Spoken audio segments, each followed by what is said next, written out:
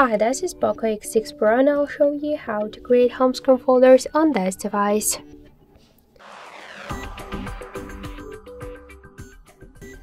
So first hold for a while the application and drag this up to another one and by this way we could uh, create and add more applications to our folder. If you want to rename the folder just open it and tap on the name after that, you could rename it, for example, enter the apps and tap to OK. To move folder here on the screen or between the screens, we should just hold and drag it. Also, if you want to remove the application from here, you could hold it for a while and tap the remove icon.